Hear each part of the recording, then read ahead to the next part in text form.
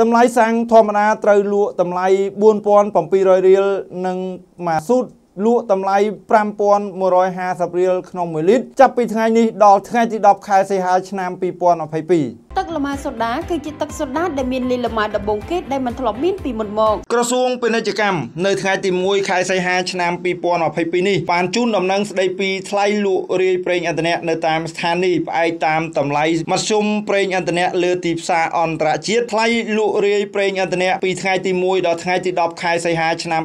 2022នឹងត្រូវលក់5.016រៀល1លីត្រសម្រាប់សាំងធម្មតា EA 92និង5.416រៀល1លីត្រដើម្បីសម្រួលដល់ជីវភាពរស់នៅប្រជាពលរដ្ឋនិងដោយមានការរួមចំណែកពីក្រុមហ៊ុនចាយចាយប្រេងឥន្ធនៈនៅកម្ពុជាសម្ដេចអគ្គមហាសេនាបតីដេជោហ៊ុនសែននាយករដ្ឋមន្ត្រីនៃប្រជាណាចក្រកម្ពុជាបានសម្រេចបញ្ចុះតម្លៃលក់រាយប្រេងឥន្ធនៈនៅកម្ពុជាចំនួន6.5សេនដុល្លារក្នុង1លីត្រដូច្នេះថ្លៃលក់ប្រេងឥន្ធនៈនេះសម្រាប់អនុវត្តចាប់ពីថ្ងៃទី1ដល់ថ្ងៃទី10ខែសីហាឆ្នាំ2022នឹងចុះមក4 750រៀលក្នុង1លីត្រសម្រាប់សាំងធម្មតា EA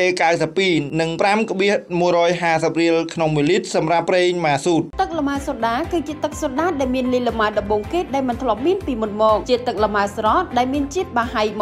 25%នៅពេលដែលយើងបានពិសាទឹកលម៉ាសូដាហើយវាធ្វើឲ្យយើងមានអារម្មណ៍ស្រស់ស្រាយពិសាទឹកលម៉ាសូដាវានឹងបន្ថែមជាតិទឹកដល់រាងកាយរបស់យើងនិងជួយដល់ការរំលាយអាហាររបស់យើងផងដែរព័ត៌មានលម្អិតសូមទំនាក់ទំនងលេខទូរស័ព្ទ012